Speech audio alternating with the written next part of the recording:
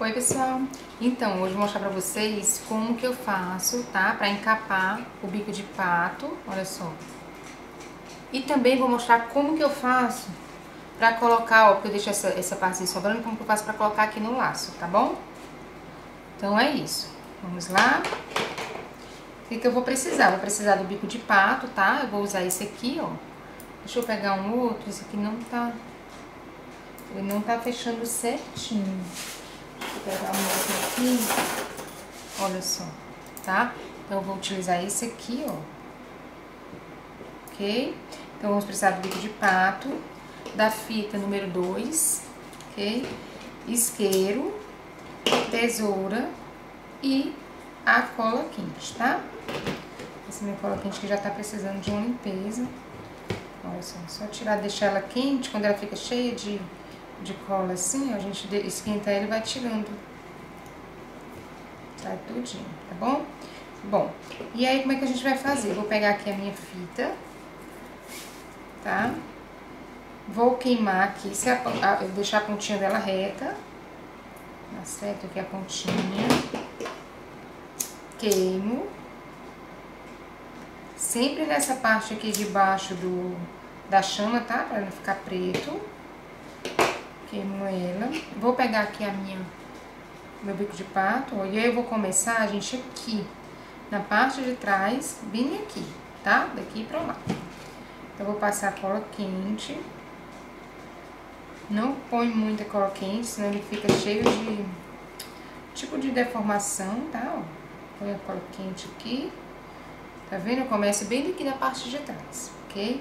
Vou virar aqui, vou passar um pouquinho de cola aqui dentro aqui, ó, coloco um pouquinho espalho, ok? Fecho aqui.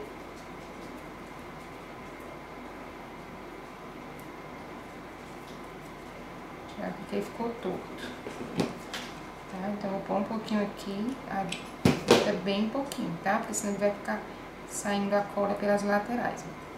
Coloco um pouquinho, tá? Venho aqui pro outro lado um pouquinho de cola espalho, ok?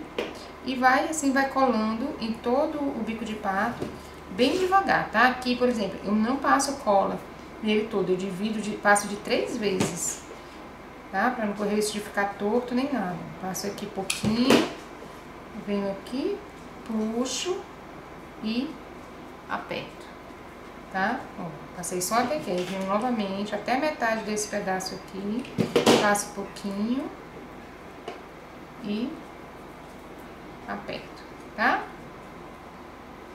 Dá pra não ficar torto. Apesar de que essa parte aqui, ela vai ficar assim embaixo do laço, né? E aí, passo aqui pra finalizar, ó, esse pedacinho aqui. E aí, a nossa é, fivela tá prontinha para ser usada no laço, ela já tá preparada, tá? Só vou finalizar cortando aqui, eu trago essa parte aqui, ó, pra trás. E aqui onde eu comecei, mais ou menos nesse cantinho, eu venho aqui com a minha tesoura, ó, mais ou menos nessa altura aqui, corto, ok? E selo. E aí você vê também se tá certinho. Quando você colocar essa fitinha aqui pra dentro, ela vai dar até aqui assim. Vai cobrir toda essa partezinha aqui, tá? Pronto, tá prontinho, ó. Já tenho vários aqui que eu vou fazer os lacinhos. Já deixei tudo preparado, tá? Olha só. Tá vendo? Eles ficam assim. Ok? Ó. Então, preparada a nossa fivela para aplicar no laço, tá? Vou mostrar agora como que eu faço para aplicar. Super fácil também. Vou pegar aqui meu lacinho, olha só. E o que que eu vou fazer? Pego aqui a minha fita número 2, tá? Vou queimar aqui. Vou colocar aqui. Isso. Coloco ela aqui no meio. Vou passar ela aqui, ó, na frente do meu laço. Eu já tinha colocado essa fitinha aqui, que eu ia fazer de outra forma, tá? Ia colocar na tiara, tudo, mas resolvi colocar aqui, mas não precisa ter essa fitinha aqui não, tá? Daí, ó, venho aqui, né? Vou dar um pinguinho aqui pra ela não sair do lugar. A minha cola tá acabando. Olha só. Passo aqui. E aí, ó, dei só uma volta. Ela tá aqui. Aí eu vou colocar a minha fivela, tá? Meu bico de pato. Então, eu vou pegar ele aqui. Nessa partezinha aqui de cima, nessa parte não, só nessa parte aqui de cima, eu vou aplicar a cola, tá? Vou colocar pouca cola, ok? E vou colar ele bem aqui no meio do meu laço, tá? Tanto no meio aqui, como no meio aqui, tá bom? Pode esperar um pouquinho, tá? E depois que você fizer isso, o que, é que eu vou fazer? Eu vou abrir aqui, deixa eu pegar certinho aqui.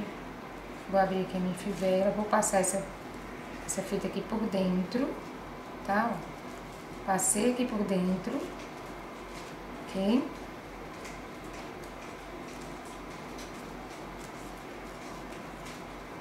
Aqui, se você quiser, você já pode cortar, tá? E vir com a fita aqui por cima, como eu vou mostrar pra vocês. Mas eu vou dar mais uma volta. Eu gosto de dar duas voltinhas. Então, eu vou colocar um pouquinho de cola aqui, tá? Pra ele fixar certinho aqui no meio, ok?